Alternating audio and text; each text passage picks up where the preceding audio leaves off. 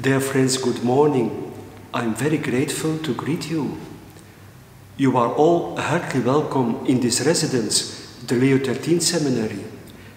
I can imagine that some of you are here already some years, other two years.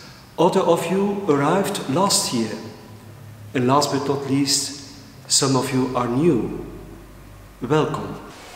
37 years ago, I stayed and I lived in this residence since I was studying classic philology at the KU Leuven. I studied a lot in my life, not only in Leuven but also in Rome. And I had the opportunity to teach a lot.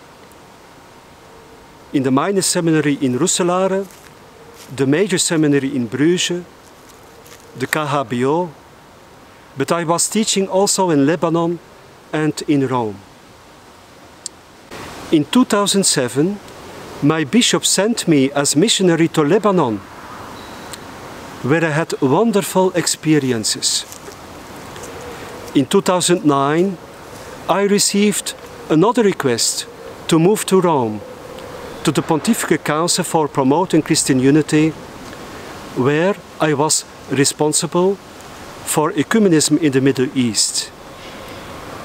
In this way, I had the experience of traveling a lot, not only to Lebanon, but also to Syria, Iraq, Jordan, Armenia, Ethiopia, and the south of India, Kerala. In 2018, the Belgian bishops asked me to move to Leuven, where I am now since two years president of the Holy Spirit College and of the Leo XIII Seminary.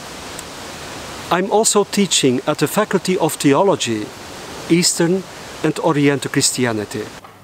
On the website I find a very inspiring text.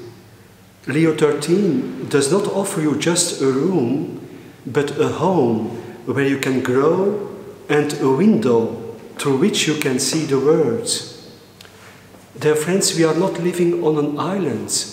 We, living in, we are living in a community. We are called to develop that riches of different cultures, languages, and traditions. This is the very heart of our residence, the Leo XIII Seminary. Living along that spirit of togetherness, that circle of friendship and fraternity. We live in a very challenging time of coronavirus, and I want to encourage you all to take care of one another, to take up your responsibility.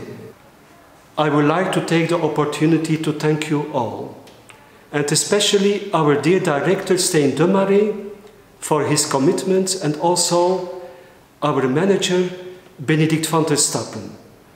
Thank you, Steen, and thank you, Benedict, for everything what you are undertaking for the health and the well-being and the harmony of our community.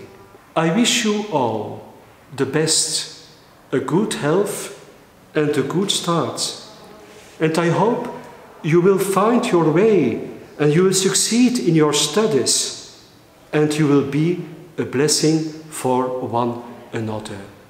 Most welcome. God bless you. Thank you.